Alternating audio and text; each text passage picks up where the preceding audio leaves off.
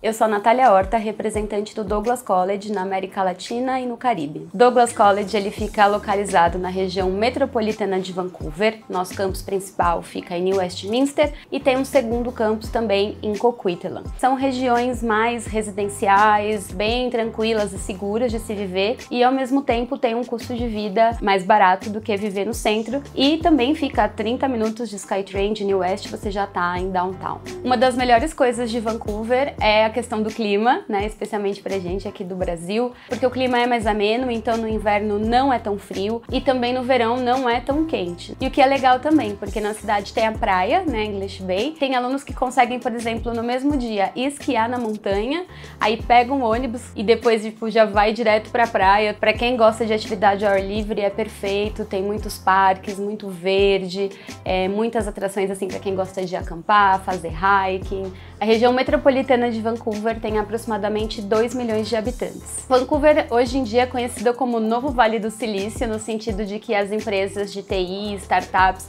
elas têm aberto uh, filiais, muitas vezes matrizes na cidade, por ter um subsídio do governo. A gente vê um crescimento muito grande na área de TI, o que também alavanca outras posições de trabalho, porque você pensa uma empresa, uma startup, precisa de um contador, de um profissional de marketing, então acaba uh, gerando aí uma empregabilidade em diversas áreas. Por exemplo, a Amazon abriu uma grande filial lá no centro de Vancouver, eles abriram mais de 3 mil postos de trabalho, não só na área de logística e TI, mas como todas essas áreas que englobam né, uma grande empresa. Se você quer aplicar para um dos programas do Douglas College, entre em contato com a On Education, nosso representante oficial aqui no Brasil, que eles vão ajudar com todo o processo de aplicação e tirar todas as dúvidas que vocês tiverem.